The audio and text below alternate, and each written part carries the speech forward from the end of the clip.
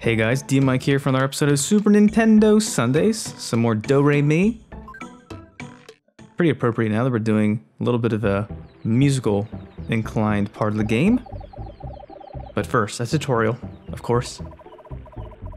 This construction vest wearing mouse is going to tell us that uh, we can climb curtains, which is great. Great news, because we, you know, we wouldn't have been able to figure this out just by trying it, I guess.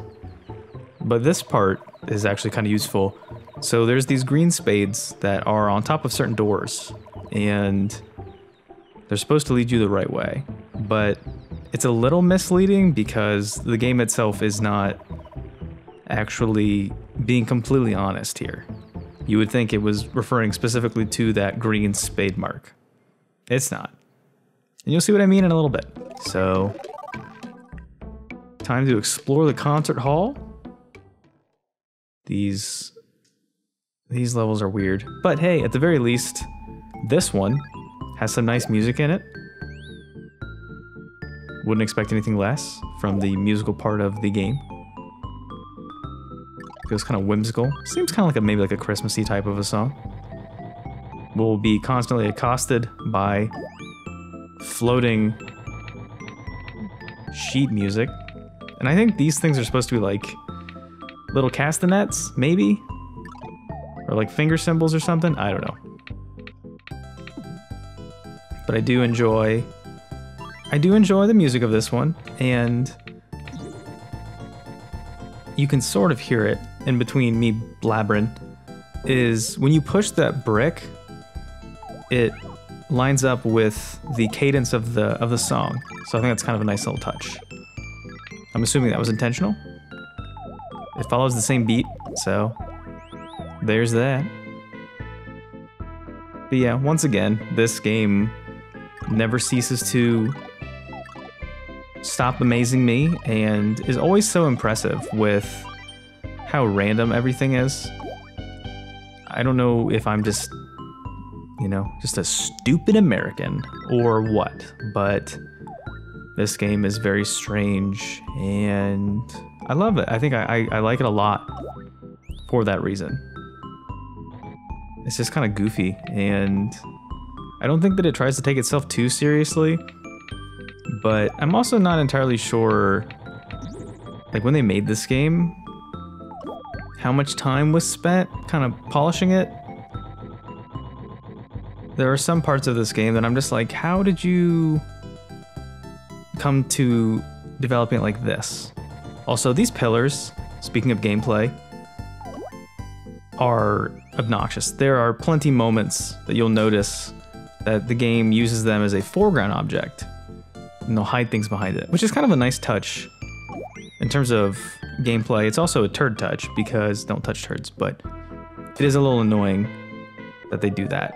Also, I think these stars, like the gold ones with the music notes, I think that those are what you're supposed to collect as kind of the the keys to beating the world you're in. And see, there you go. Have a little mouseketeer there, hiding back behind the pillar. And here you go, we beat the level, that's it. That wasn't too bad, right?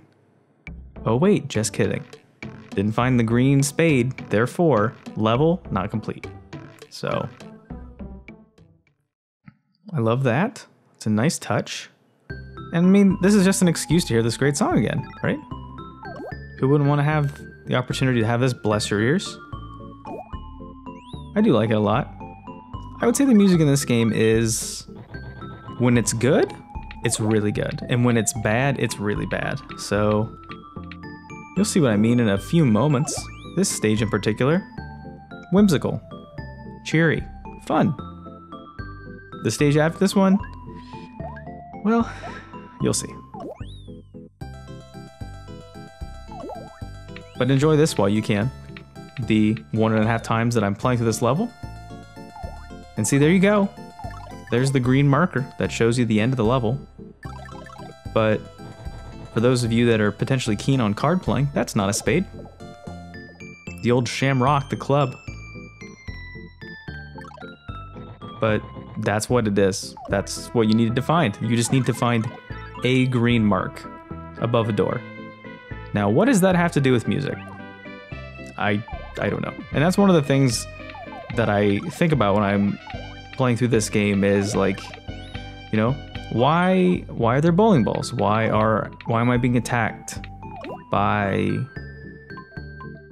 coconuts on a xylophone? I don't know. Actually, it's probably more of a marimba, but it's just I don't know why they put the things into this game that they did. Some of it makes sense, like aesthetically. There's a little bit of continuity with the sheet music and the cymbals and the, you know, the castanets. That all makes sense. But then they also have stuff like this, where there's a mini game where you're trying to do a a rip off of Duck Hunt and shoot some birds. I just I don't get it. And I think it's just because I'm I'm just this game is too it's above me, you know, intellectually. Do Re Mi was actually made with participants of Mensa in mind, so it's just my small brain just can't comprehend the magnitude of what this game is trying to achieve. That's that's honestly it. So, you know, maybe if I would have spent more time paying attention in school, getting some book learning in, I would be able to understand what this game is all about. The deep, high level, elevated meeting. Meeting. I need to have a meeting. So yeah, apparently that's good. It says game over like you lost. I don't... And maybe this is because it's like a translation thing. That was a pro move, not letting that, uh... That mouse trying to kill me, but we only got one of these bad boys with that bowling ball. Why bowling balls? Why are we blowing bubbles? Why do we look like an elf? Why is our name Milon? I don't know. So here we go. This level is weird. It is fun. Like this level is really challenging compared to some of the others. You're hopping across these kind of bells, some of which will give you safe passage, others will not. So hopefully you picked up that bubble gum from the last stage. There are a lot of pits in this one, so it'll definitely help you out. And those little kind of golden Oreos right there, you can only land on them briefly. So yeah, there's just this weird occasional piano sting. Some bells in the background. I don't know. And then this weird, like, synthesizer riff, which kind of sounds like a cymbal roll. I don't know. This entire stage is very weird. And when I go and I edit these videos, I like to try to find music from the game music that's enjoyable, like the invincibility theme for Morgan here, you know? All these types of things that make a good game. A good soundtrack. And this almost feels like maybe some of the soundtrack they hired an actual composer and then maybe they found the 90s version of Fiverr and they just were like, or there's like some sort of an intern, like, okay, how about you make us a song? So there we go, Bubblegum bailing me out. But yeah, how about you make us a song? How about you you compose us a masterpiece, which is just random bells and kind of eerie sounds. I don't know. I don't know. Like listening to it in headphones is even worse because it's kind of like it just sounds very creepy. And like this, you know, imagery in the background looks kind of like Maybe like stained glass windows of like a church or something like that. Is that aesthetically line up to you viewers as an environment that would make sense to have us die twice in 30 seconds? Or does it make sense to have this music in the background? Like, I feel like this would be kind of more of a cheery environment, unless maybe the people who made this game have bad experiences with churches. I don't know. I'm not going to speak for them. I just think that this area is kind of weird. Which is a shame because this level in particular is kind of tough. And it actually does feel like they put a good amount of effort into it, like the mechanic of the bells and, you know, you having to really time jumps. Because this is a pretty tough platformer. I like that. I like that they put a lot of effort into this in particular because it's kind of tough and fun. Especially grabbing that bubblegum. It'll save your buns, I promise. Like, that kind of stuff is silly and it doesn't really make a lot of sense to me. But, like, I don't know. That, I guess I can suspend my belief a little bit more than some of these other things. I don't know. Definitely thinking way too hard about a game that's, at this point, like almost 30 years old. But a game that never really reached American markets. Actually, I don't think it reached American markets at all. So, what you're seeing is content from a faraway land curated just for you. At DMic Industries, we like to bring a different perspective in life, show you some things that maybe you wouldn't normally see in your daily life, some games that might have slipped under the radar, that, for all intents and purposes, make me feel like I'm experiencing a fever dream. So there's that. I will never get tired of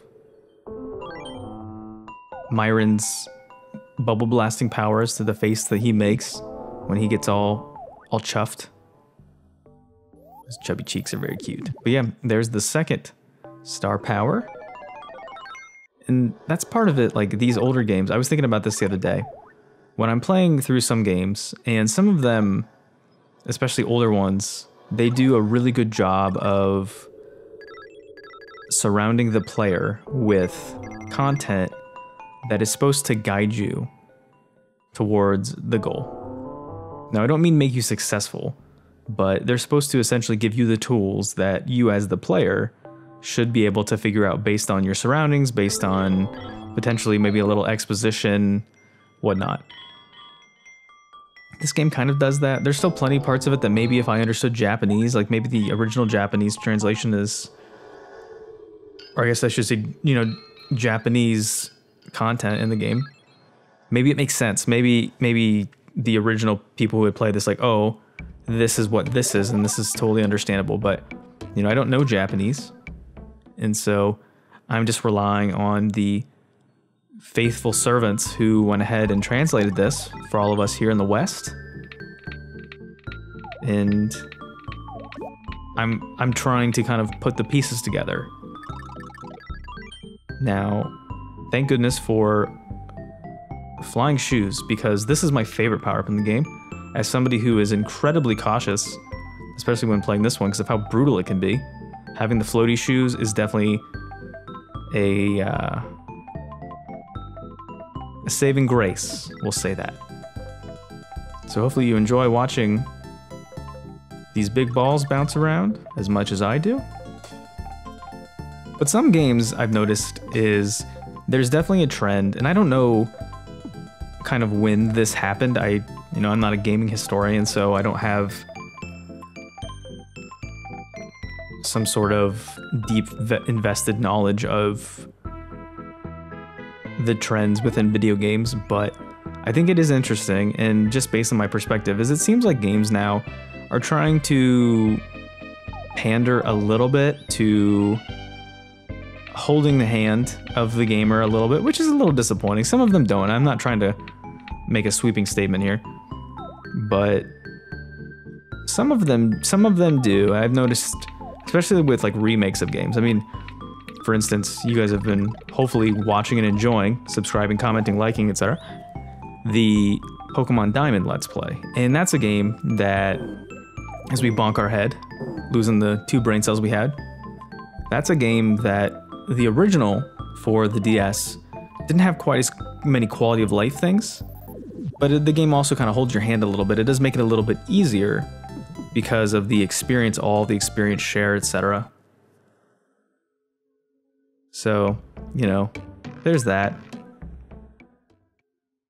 So we did not solve this level once again. We did not get to the green mark. I'm not sure why they chose that and why they chose things from card games whatever, but the the floaty shoes will save us again. Um, but yeah, like going back to that point, it's weird for me that games in certain cases will absurdly hold your hand. Like there's it's a little it, they're making it a little bit too easy, especially on games that they themselves I feel like aren't terribly difficult. Like for instance, Pokemon games. I feel like those games by and large by their nature aren't terribly difficult. You know, I know the games are essentially made for children, so they can't be too brutal or else kids aren't going to want to play them and whatnot. But you know, I feel like there are there are suitable levels of difficulty in those games that it doesn't make me, you know, rage quit. That's a deep cut for you from a few years ago. I don't feel that way. But yeah, there's just some games where it feels like there's a, they're tutorialized a little too much, and I don't know if that necessarily. It's not a horrible thing, but I do find myself a little kind of worn out by that but then there's also the opposite side of things, which still does occur with certain games now. So I'm not trying to like say like all games hold your hand. But there's some games that I've played, indie games maybe in particular, where the level of difficulty is kind of artificial because they don't share with what with the with the game player what you're supposed to do. You're just kind of figuring it out as you go, which is kind of good, but there has to kind of be that happy median or is it medium? I don't know. But there has to be that happy, sweet spot where when you play a game, you're given enough information to be able to make elevated decisions based on your surroundings, based on the resources you have. And then from that, you gain knowledge over time, you gain skills over time. You know, the viewer, gamer, whatever you want to call yourself, player, player, um, that person grows with the content. And I feel like that's what makes a good game over a not so good game is that you have to develop that muscle memory, but the game also has to help you develop that muscle memory. You know, you're not just going to intrinsically know how to do it unless you're I don't know, like that kid from the the wizard movie, I don't know. But that's what I think about like certain games where I feel like the game does a good job of including what you're supposed to do. And then some games they don't. Like this one. This one is just kind of like you figure it out as you go. Like, yeah, of course. Common sense would say you're supposed to jump on a timpani because it's going to launch you into the sky. But there's certain moments where I'm just kind of like scratching my head, like, why did they put this in here? And once again, it could entirely just be a misunderstanding on my part. I have no clue what I'm seeing. You know, maybe to the average mid 90s Japanese game player, they were like, oh yeah, this is easy peasy. And you're just some fool, you being me. I don't know. I couldn't tell you. But I still think that this game gives you mostly enough of what you're supposed to do. There's those little tutorial sections, which I feel like are good because without them, there's certain things that you wouldn't know how to do, but then also part of it, it's like, why did you tell me this? Climbing on curtains, pushing blocks, that's something you could literally figure out with five seconds of trial and error. So I'm not sure why they thought that was the good way to handle it. Not the worst way. You know, they're not gonna go full RPG on you and hit you with a half an hour of exposition before you can start playing a game, but you know, there's got to be a uh, a certain a certain middle ground of how you handle it. Now, going back to gameplay, specifically right here, these little arrow blocks makes me think back to the World 7 of Mario 3 with the pipe world, and there's a couple of those levels where you have to hop on the little switches and they'll carry you around. Recently just beat Mario 3, and that felt great, so congrats to me. Doing great, but hey, that's the end of Do Re Mi for now. I'll stop complaining. Thanks for watching, everybody. This has been Super Nintendo Sundays. I've been DMic, and I'll see you next time. Bye.